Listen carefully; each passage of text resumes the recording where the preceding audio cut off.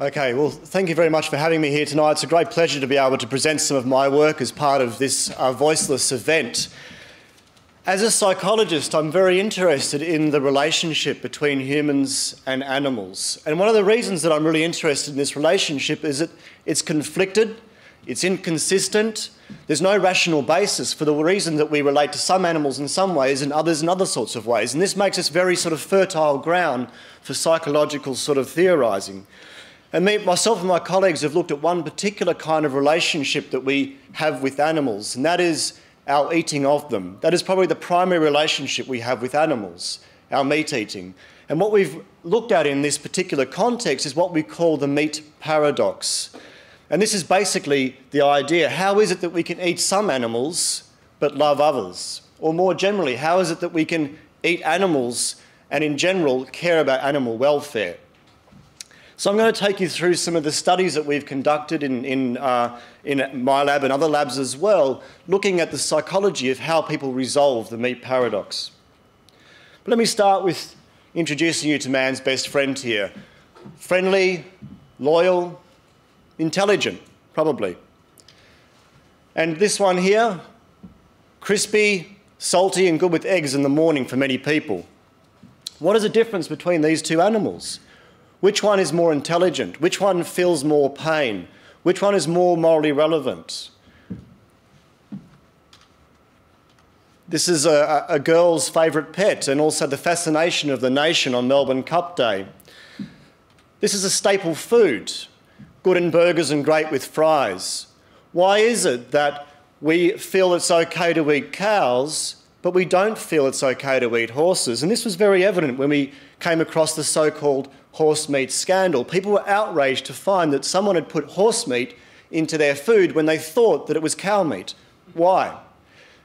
People struggled to try and answer this question of why they felt so outraged. Some people talked about the fact that it was unhealthy, but of course, really, horse meat, horse meat is quite a healthy, healthy kind of meat. Other people talked about consumer confidence. You know, we, we thought we were purchasing one thing, but in fact, we were purchasing another thing.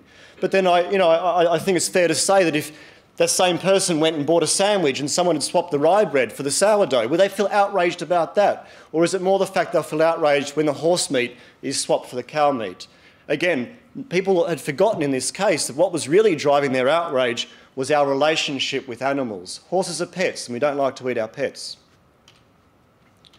Again, here, the friend, our friend of the sea, with the apparent ability to smile and to entertain children, the greatest predator of the sea, also good with chips and tartar sauce. What is the difference between these two fish? Why do we feel it's okay to kill one and eat it and become outraged at the Japanese when they kill the other one and eat it? So this really raises the general question, which I'm here to try and shed some light on tonight, which is why we love some and eat others. Why do we love some animals but find that it's okay to eat others? And I'd argue that this question cannot be answered by looking at the differences that exist between these animals that we do eat and those that do not. It, is, it, cannot be answered by looking at determinable differences between these animals, but maybe it can be answered by looking at our relationship to animals. This is really what determines whether we need, eat animals or not. And of course, those relationships with animals are largely shaped by our own needs and preferences. If we have pets, we don't like to eat them, but we like the taste of bacon, so we like to eat pigs.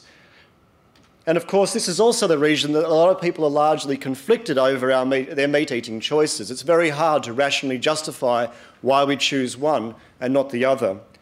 The other thing that people are conflicted over is actually their consumption of food animals. We're not only conflicted over why we choose some animals to eat, we're also conflicted when we're confronted with some of the realities over the animals that we do eat.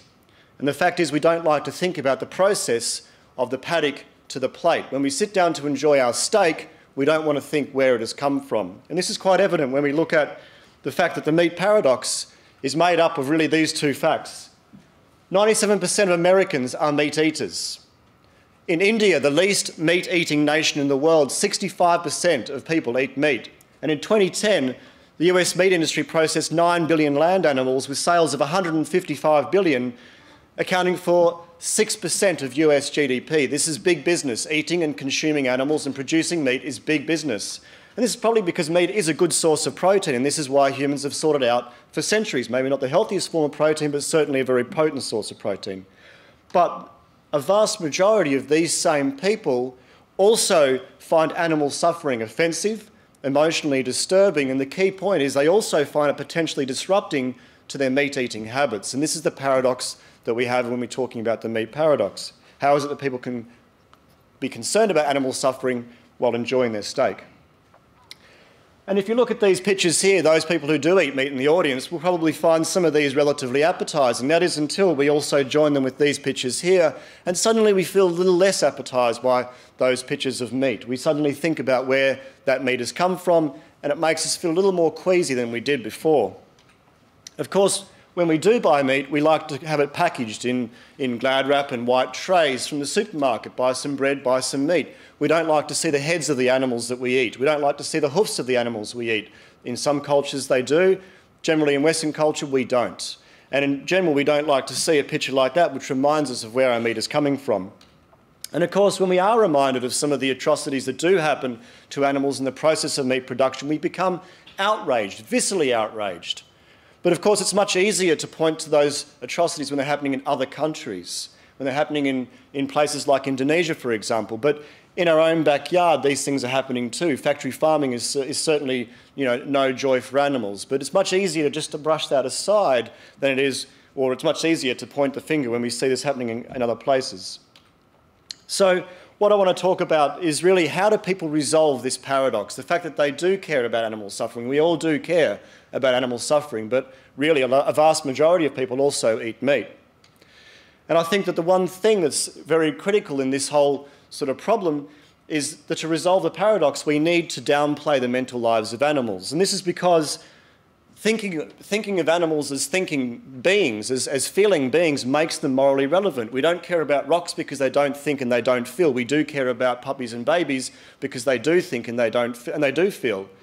But of course, we can change our perceptions subtly to try and suit our behaviour in some situations. And the fact is that we enjoy eating meat, but we don't like eating minds. And we've found, done some research on this, and you can see here that we've got a, a list of animals, and we asked people to rate these animals on their edibility and also on how much mind they possess. And you can see there's a fairly good negative relationship there between the animals that are seen as edible and, and how much mind they have. So we have fish and, and crabs and chickens over there, and even the cow and sheep and goat, relatively less mind and definitely more edible than, say, your dog, your gorilla, your monkey, dolphin, or horse. And you may say, well, that's all very fine and well. We've made a, a, good rational choice. We've decided to only eat the animals that don't have any minds. That's a rational basis for our choice here but I would suggest that actually it's far more motivated than that. We change our perception of animals depending on whether we eat them, and let me convince you a little bit more. We also brought some people into the lab, and we, both vegetarians and meat eaters, and we, we showed them this picture of a cow, and we either told them this is a cow standing in a paddock, or this is a cow standing in a paddock and it's going to be killed and slaughtered for meat production. So these are two different groups. Then both groups did a mind attribution task here. So basically, what they did was rated the extent to which the cow had these different mental capacities how much it could feel pleasure, fear, rage, joy, happiness, how much it could desire or wish or plan for things, how much pain, hunger it could experience, whether it could taste, see, and hear, choose, think, intend, imagine, and reason. So this is really how we, you know, how much mind would you attribute to this cow? What we found was that vegetarians were far more likely to attribute mind to a cow overall than meat eaters. But interestingly, also, they weren't very sensitive to our manipulation. It didn't matter whether the cow was going to be used for meat for a vegetarian, but for meat eaters, they subtly downplayed the mental states of a cow when they thought about it as food, again, because perhaps they feel in some sense connected to that use of a cow. So it seems that denying mind to animals is a good way to sort of help us to eat meat, and maybe in, an untroubled, uh, in an untroubled kind of way. It reduces our negative feelings, our negative emotions around eating meat we wanted to test this more directly as well. We brought people into the lab again, we, this time in groups of six to eight, and we sat them around a, a nice big round table and we gave them some questionnaires at the beginning of the study, one of which was the same mind attribution task which I just showed you before. Uh, and, and, looking at the same picture as the cow. We then say, look, now, now you're going to participate in a different study. This is on consumer behaviour now, and we're going to get you to eat some food and just simply rate your, you know, how tasty and enjoyable it was. For half of those participants sitting at the table, we told them they were going to eat delicatessen beef, and we put a plate of this on the table. For the other half of the participants, we told them they're going to sample a green apple, and we put a bowl of green apples on the table. So half the participants thought they were about to eat meat, green uh, beef, delicatessen beef, the other half, some green apples. The research assistant then went out of the room and said, I'm just getting some plates and cutlery so you can you know, sample your food.